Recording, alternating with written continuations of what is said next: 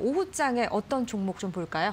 네, 오늘 갖고 나온 건 이제 5G 관련 종목을 음. 갖고 왔습니다. 오늘은 조금 좀 쉬어가는데 조금 이럴 때 아마 관심을 가지시는 게 생각이 5G는 듭니다. 관심을 가지시다가도 네. 답답해서 포기하신 분들이 많으실 것 같아요. 네. 근데 이제 아마 올해는 아마 장, 내 작년하고는 좀 다르지 않을까라는 않을까. 생각을 좀 해보고 있습니다. 예. 일단 5G에 대한 투자가 되네 안 되네 이제 계속 음. 어떻게 보면 양치기 소년이었죠 작년 한 해 동안 맞습니다. 계속 그랬는데 올해는 아마 양치기 소년에서 벗어나서 아마 좀 투자가 좀 이루어질 걸로 그렇게 예상이 되고 있고 요. 대신 이제 5G가 지금 투자를 하는 방향이 조금 약간 좀 달라질 걸로 이제 예상이 되고 있습니다. 음. 저희가 이제 핸드폰을 이제 5G를 많이 쓰시는데 그건 자- 대부분 이제 6GHz 때에 이제 주파수대를 쓰- 사용하시는데 예. 원래 이제 5G라고 하게 되면 28GHz 때에 음. 이제 주파수를 사용해야 되는데요. 일단 상용하기에는 조금 투자 비용이 너무 많이 들어가기 때문에 좀 지체는 될 것 같습니다. 네. 그렇기 때문에 그 대신 특화 방송 형태로 아마 바뀌지 음. 않을까 이런 생각을 해보고 있습니다.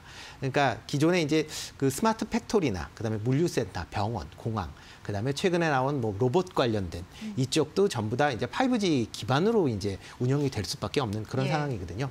그러다 보면 전체적인 망을 깔기보다는 어떤 특정한 장소에 5G를 전용으로 깔, 깔아서 활용하지 않을까라는 음. 생각이 들고 있고요.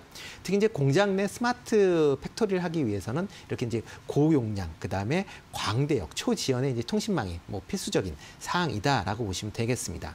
뭐 최근 이제 로봇 관련돼서 얘기 나오는데 음. 로봇 할 또 이제 무선으로 운영이 되기 때문에 이때도 이제 5G가 이제 필요로 한 그런 상황이고요. 5G가 전반적으로 이제 괜찮을 거다 이렇게 보시는데 이 안에서도 여러 종목이 있지 않습니까? 이노 그렇죠. 와이어리스도 있고 서진 시스템도 있고 여러 네. 가지가 있는데 어떤 종목을 좀 보면 네, 좋을까요? 그 중에서 제가 좀 관심 있게 보는 종목은 HFR입니다. 음. 뭐 작년에 작년 하반기에 뭐 비교적 다른 5G보다 좋은 그런 이제 주가 흐름을 보였죠. 보였죠. 예. 네. 그 이유 중에 하나는 이제 5G가 전체적으로 실적이 부진했는데 음. 관련돼서 이제 매출이 좀 발생을 했다라는 거고요.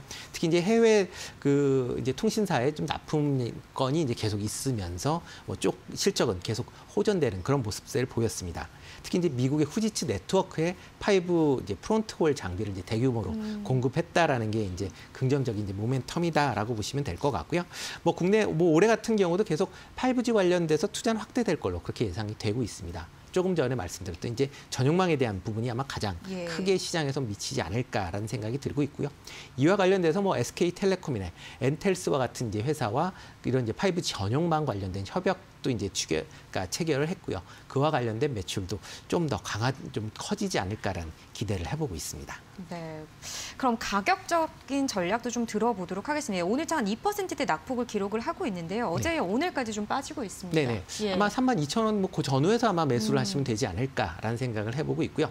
목표 주가는 4만 원, 그다음에 손절은 2만 6천 원대에서 하시면 어떨까 싶습니다. 네, 다시 한번 5G가 비상을 할 수 있을지 지켜보도록 하죠. 오늘장 32,300원대인데요. 목표 주가는 4만 원으로 제시를 해드리도록 하겠습니다. 오늘 말씀 여기까지 듣겠습니다. 고맙습니다. 네, 고맙습니다.